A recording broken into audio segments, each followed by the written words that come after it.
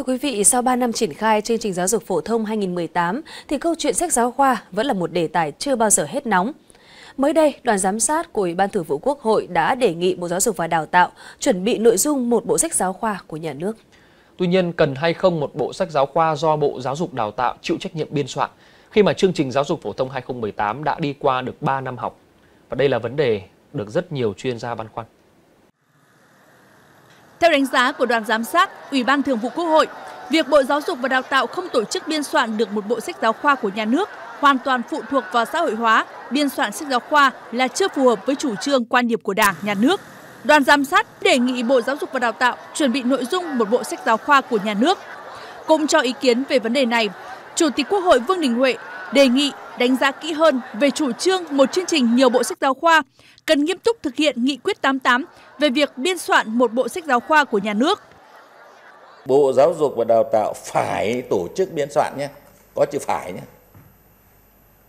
Một bộ sách giáo khoa đầy đủ từ lớp 1 đến lớp 12 gồm 137 đầu sách. Các tổ chức cá nhân khác được khuyến khích tham gia biên soạn sách giáo khoa một hoặc một số đầu sách theo khả năng. Không nhất thiết phải biên soạn đầy đủ một bộ sách giáo khoa. Đoàn giám sát cho rằng bộ giáo dục đào tạo không tổ chức biên soạn được một bộ sách giáo khoa bằng ngân sách nhà nước, còn hoàn toàn phụ thuộc vào xã hội hóa biên soạn sách giáo khoa là chưa phù hợp với chủ trương quan điểm của đảng và nhà nước. Đây là cái kết luận quan trọng mà chúng ta phải thảo luận để thống nhất. Cần có một bộ sách giáo khoa do Bộ Giáo dục Đào tạo biên soạn cũng là mong muốn của xã hội. Tuy nhiên, nếu có một bộ sách của nhà nước vào lúc này, cần phải huy động rất nhiều thời gian, nguồn lực, trong khi đổi mới giáo dục không thể cho thêm nhiều thời gian để chậm lại. Thời điểm này theo tôi là đã muộn.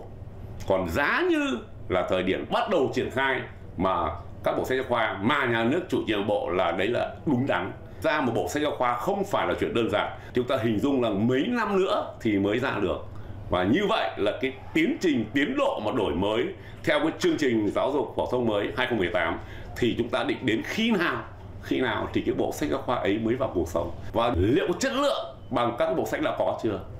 Điều này nó cực kỳ phụ thuộc vào vấn đề là tác giả là ai bây giờ đấy đấy là bài toán khó. Nếu mà đứng trên cái quan điểm là một giáo viên đang sử dụng rất nhiều cái bộ sách giáo khoa khác nhau, thì bản thân tôi đang thích nghi với việc đó việc dạy học và triển khai chương trình giáo dục phổ thông mới là bám theo cái khung chương trình, chứ không phải bám theo sách sách sách giáo khoa.